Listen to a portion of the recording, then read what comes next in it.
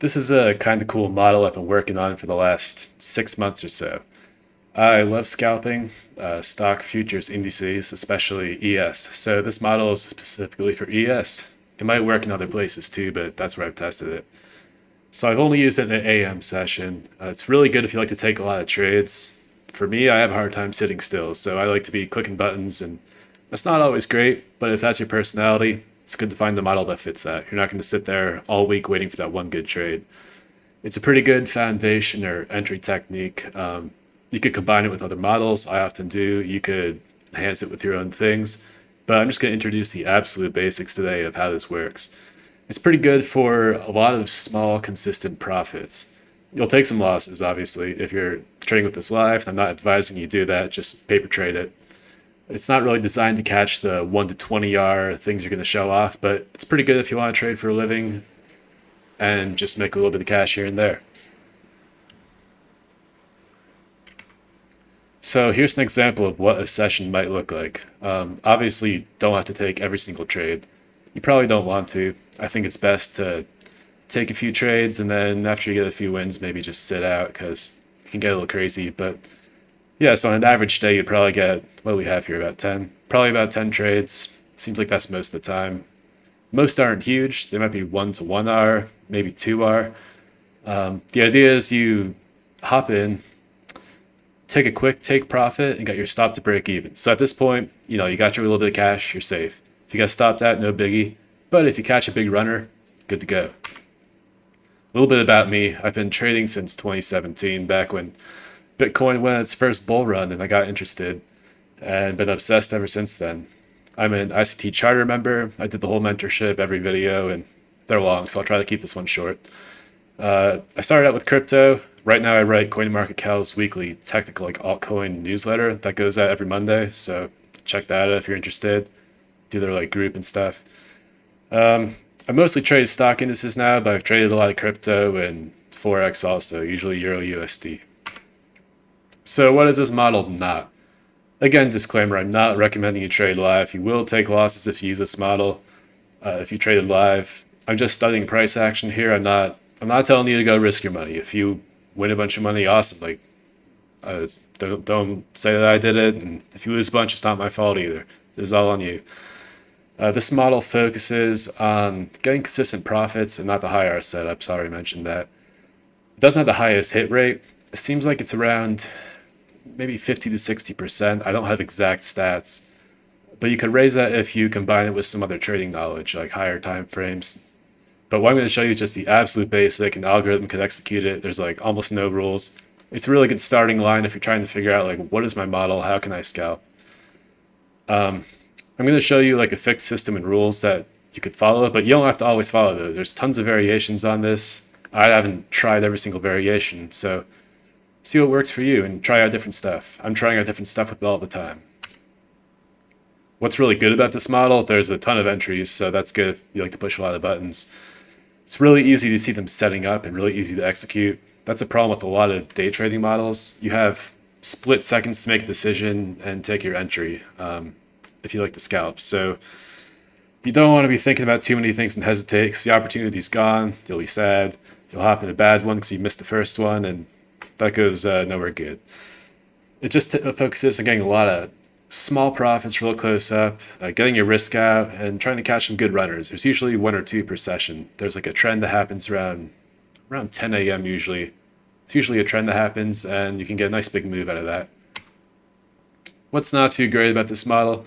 On some days, it'll just completely crush you. Price just keeps going one way, it keeps giving you setups, it keeps running you over. So you need a little bit of you have to be smarter than just a dumb computer. You have to actually think a little bit. Um, it seems like it's knocking you out, or there's something on the higher time frame that you're trading against. Don't do that. Like, use your brain with this, and some of that will just be experience. Just backtest. I think I've backtested uh, 600 trades on this. After a while, you start to spot the times where your gut's going to tell you maybe you don't want to use the century model. It works really good in consolidation days, though and I've only only tested this on the ESAM session between 8.30 to noon.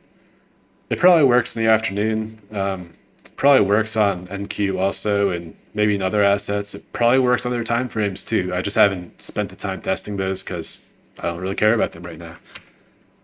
So here's the rules, all right? You sit down at your computer. The time is between 8.30 a.m. and 12 o'clock p.m. New York time. Now, if you go into TradingView, it's probably easiest when you're backtesting to just set your TradingView time to New York. I'm I don't live in New York. I live in Asia actually. um, but I just keep my TradingView always set to New York time. Makes things easier.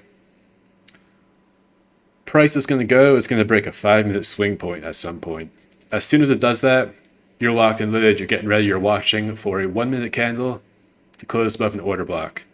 Now, if you don't know ICT terminology, that just, uh, let's say we run a five minute swing low. You're going to wait for a candle to close above the lowest bodied down candle. I'll show some examples in a second. This is too much talking. You're going to enter at the high of that order block. As soon as that close happens, usually it's the next candle, like right away. So you want to have your finger on the trigger, trigger ready to go. You want to take your first profit pretty early, or at least I do. I like doing that often uh, these bounce exactly 16 ticks. I don't know why. I don't know what's up with the 16 tick thing.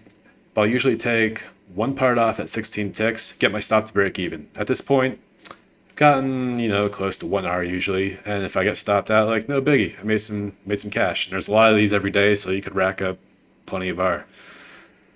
Um, I like to leave a part on and hold until either get stopped out at break even. All right, no big deal or an opposite trade sets up. So if I took a long, I'll wait for a short to set up, close out the whole thing there. Not too much thinking going on, not too much worrying about like, oh, do I take my profit at this level or this level? It's just, it's pretty brainless, pretty easy to do every day, not too much thinking. That was my goal here. So let's go to some examples. I'm going to show you on ESH 2023.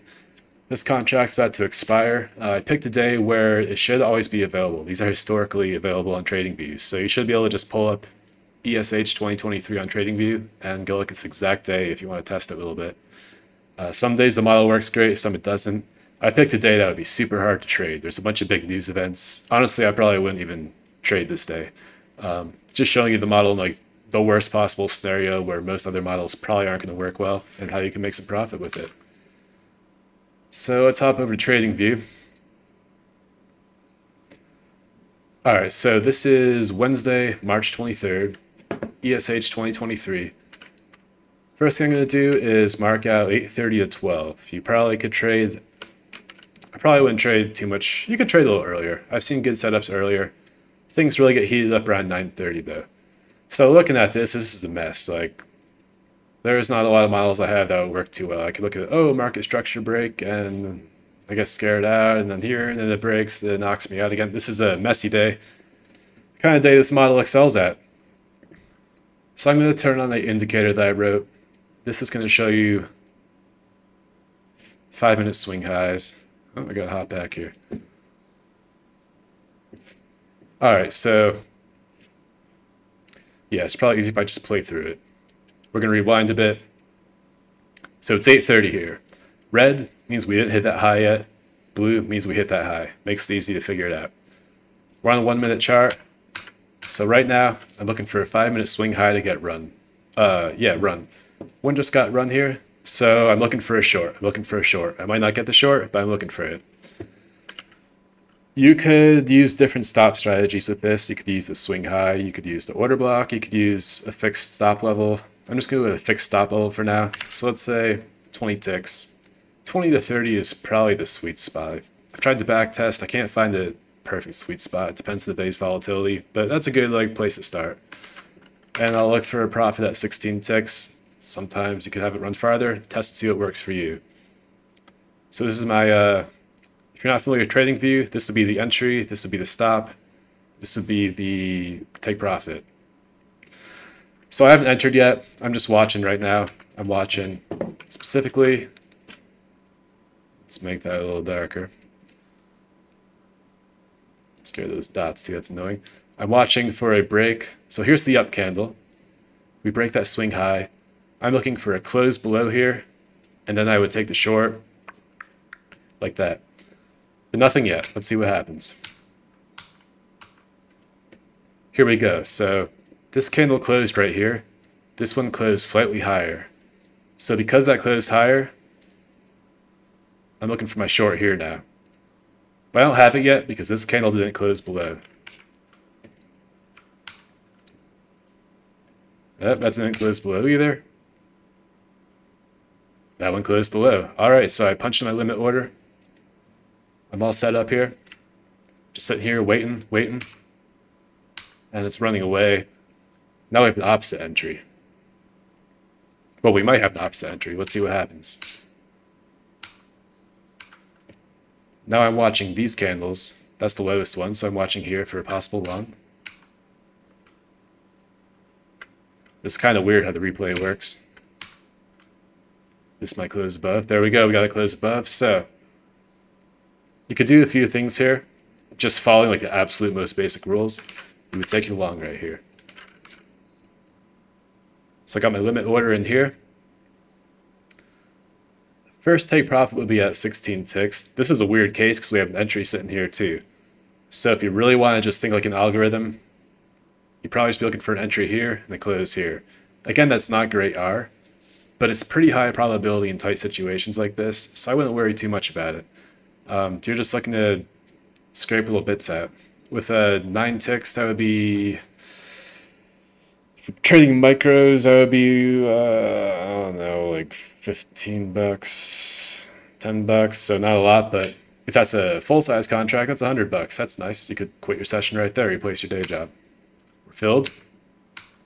It's going down. That's a little scary. Here we go. We're going up.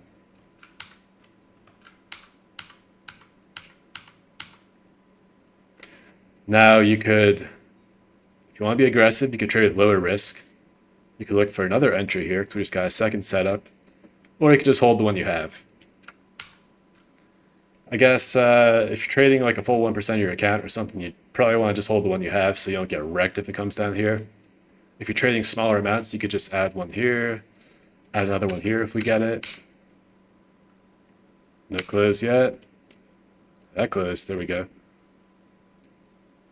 So that is the lowest. So these are equally low candles. You could pick, in this case, they have the same high too, so it doesn't matter. I've been testing just using the most recent lowest one. Um, in some cases that works better. I don't know if it matters too much. Another nice bonus with this is that little gap right there. You see on this candle where the vertical line is, that's usually a good sign. So we didn't get a fill. This one's still running. Our first take profit taken on the initial entry. So at this point, what I like to do, because I'm trying to make a living off this, not catch the biggest runners ever, I'm putting my stop all the way to break even. I can't actually get TradingView to put to break even, but at this point I would move my stop to break even. So now I've got my, that's not one R, but I've got a little bit going on here. Um, got some profit taken out. I'm risk free. If it keeps running, it could go all the way up here all day. Sometimes that happens. Fantastic, but for now, I'm not. Now, in this case, we actually just entered a short.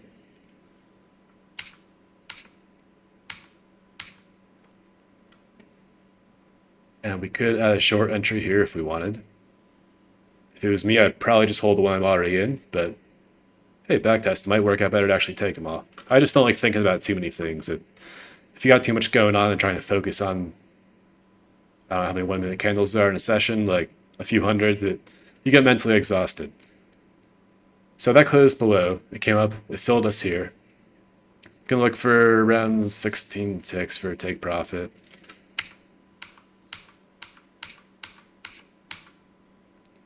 Oh, we got a spike right there. This could be another short entry. I probably wouldn't. I'd probably just hold into what I have. It's worth noting we have really low volatility here. What's this range? Um, yeah, it's like 10, 10 points. That's not too much. Yesterday, uh, today is March 14th. Yesterday in ES, the range was huge. Things were moving so fast. 16 ticks looked like nothing. So I doubled up the amount there. These aren't hard and fast rules. Uh, you could use 30 ticks, you could use 35 ticks, but you'll be more likely to get something out if you take a short take profit. So let's go now. We're not stopped out yet. Theoretically, you could take another short entry there. I'm not going to, but you could. Boom. There we go. So, yeah, we hit our target on this one. So first take profits done, stop to break even. If you took these, that would also be stop to break even, I guess. Another short entry might show up. here, I'm not going to show every single one because it's going to get boring, but there is a good loss that comes up at some point. So now, we would have taken, like, say half off on each of these.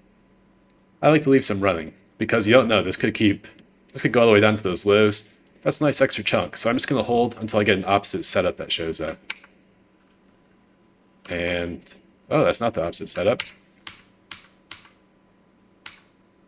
Still no close above. I'd be watching, technically following the rules, I'd be watching this candle. But just based on how this looks, I'd also be interested in that one. So, it's probably a good entry, but just because I'm following my rules, not going to take it.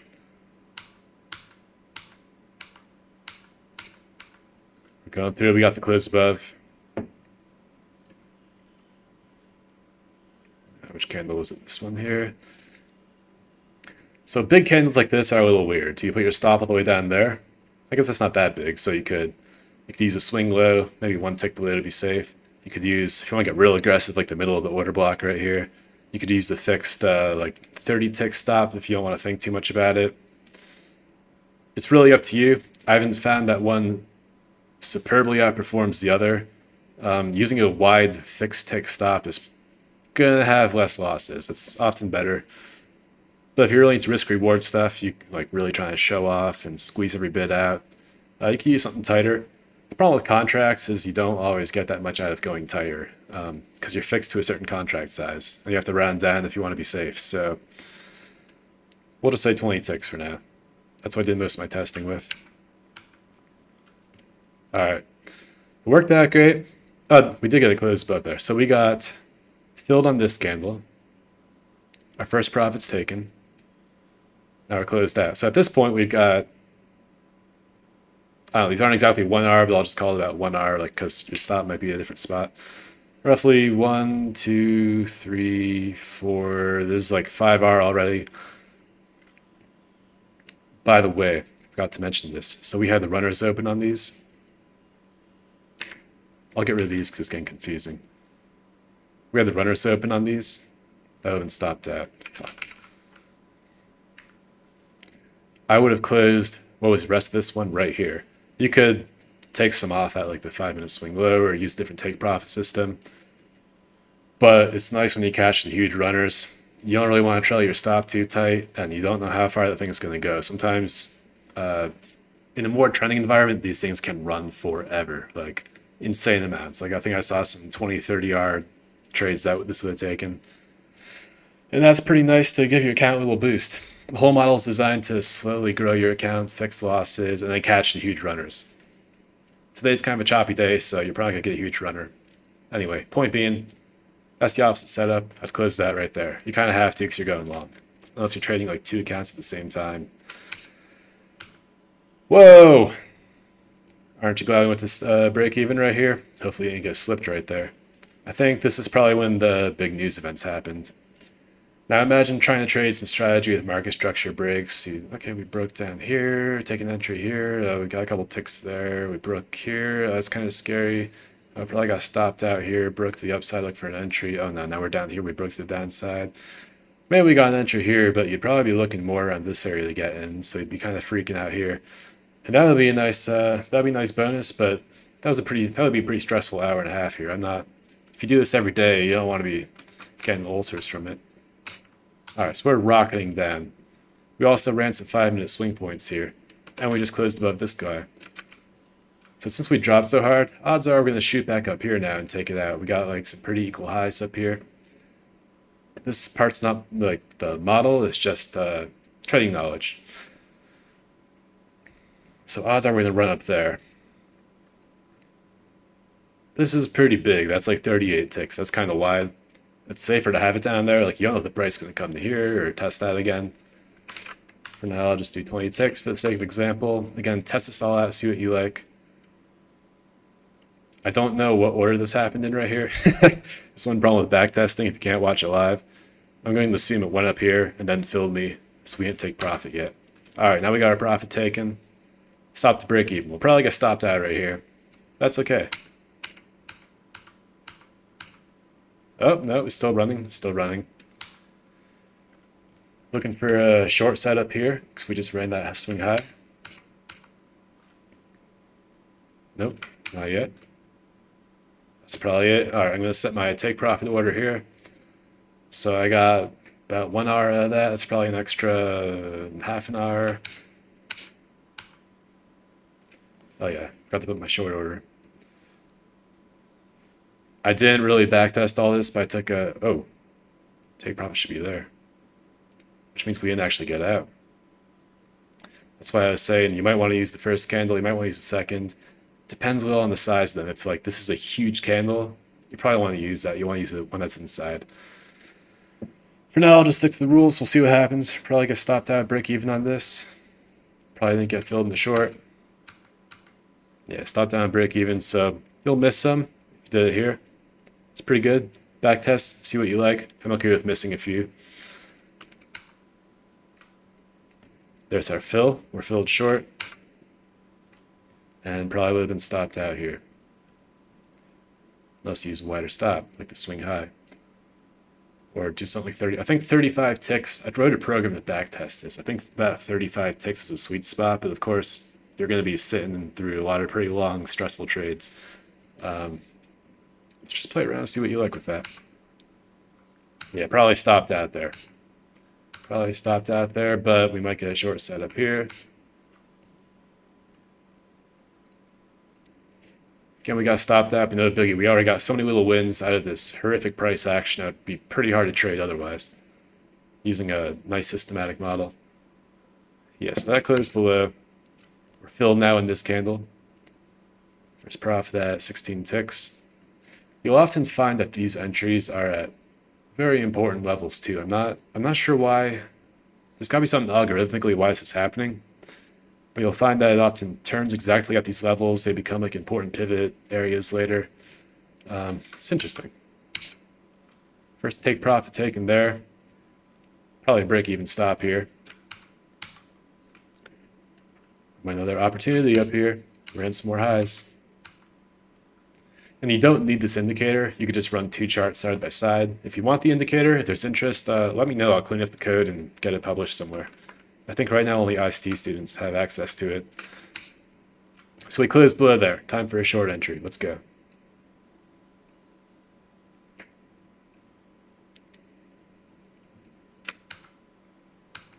Down, down. Now, right around this time, nine around 950 to 10, there's often a loss and there's often the big trend that comes. So that's where zooming out, looking at higher time frames can help a bit. Like where is the price trying to go? Um, in this case, we just ran out of a bunch of lows. We got a bunch of pretty equal highs up here, some up here. So see that huge spike, it's probably going to want to run the opposite direction, especially on a day like this where it's choppy news. So using that knowledge, you could not take this entry. You could say, you know what, I don't, I don't really trust this. I'm just going to skip this one, even though the rules say to take it. Um, I guess you actually did get some profit, or no, you didn't get profit out of that, unless your stop was wider. But yeah, so you might want to just hang on to this one, hold it up to here. This where this where you can never really make a model that's 100% systematic. It's always going to underperform. You want to use your brain. Anyway, we're up here with the short. It's about 1030. We might get a trend back down to the middle of this range. I'm going to roughly around here. So I'm thinking, you know, we're in short here. It might run down to here. We ran out a bunch of stuff up here. We might sweep it out a couple times, but let's keep an eye on it. Yeah, it's going down. Our stop's at break even here already. We're taking out some 46 ticks now. You might be looking to set up a long entry here, but so far it's still just running.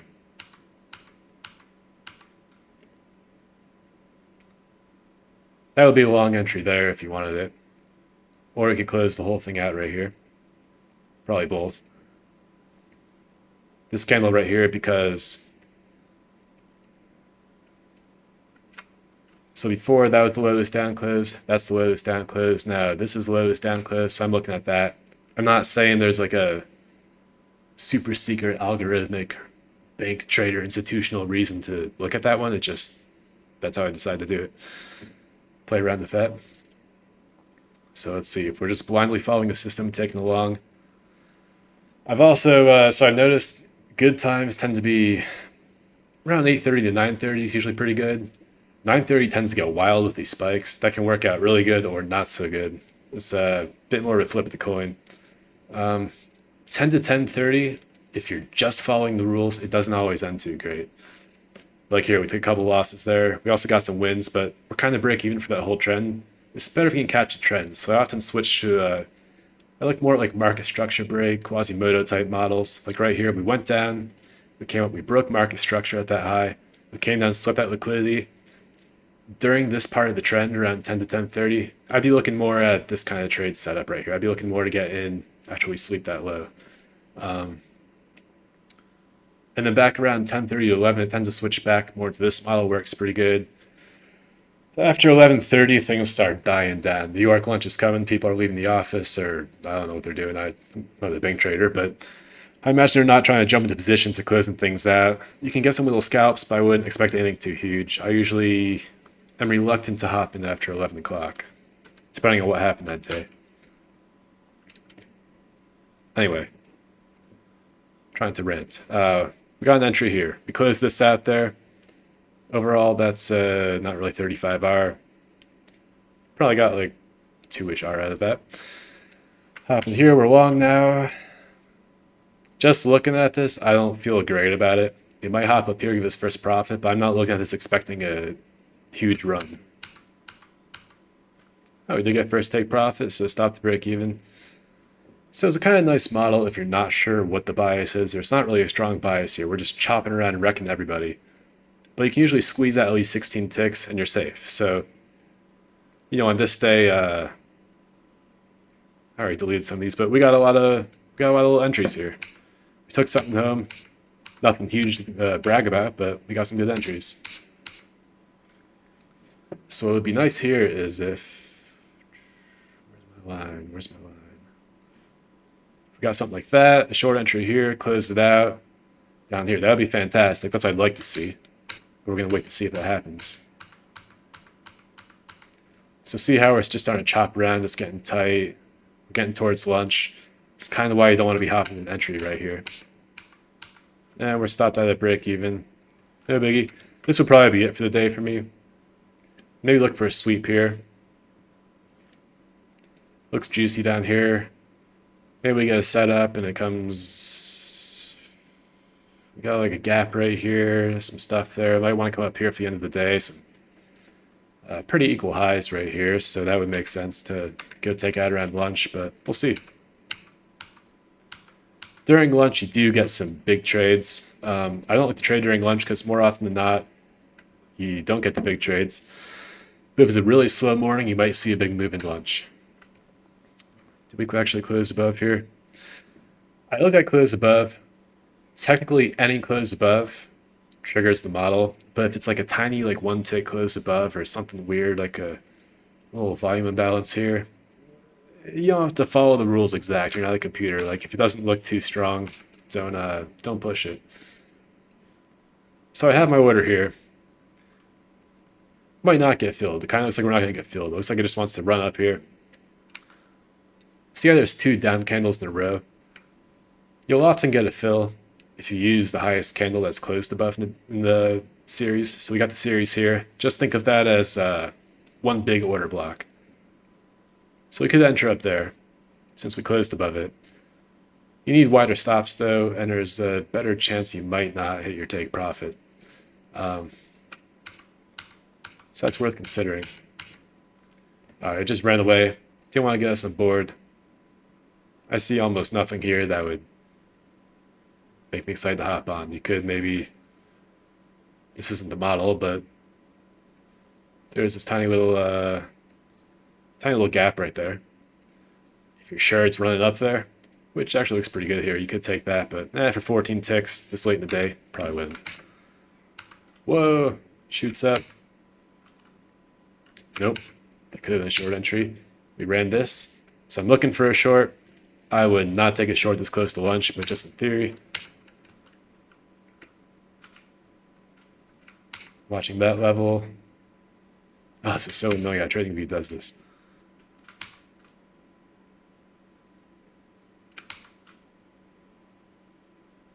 Yeah, so technically that's a short, but If it hits noon, I hard close all positions out. No matter where I am, I just close everything at noon. That's when I want to get away from the computer, uh, not overtrade. I got other stuff to do with life. Um, sometimes it runs real big over lunch. Like you could just put your stop to break even and see what happens. Maybe you come back, you got a nice trade. Maybe nothing happened. But you can't hurt yourself just closing that need. Like it usually works out pretty well. So I, probably wouldn't, probably won't be trying to get an entry right here. We got what, two minutes left. Would have gotten filled there and yeah, it would have filled us. And look, it's a day where lunch is actually running a bit. That's not too normal. Usually what'll happen during lunch is you'll see, uh, it would come up here and it would do something like that.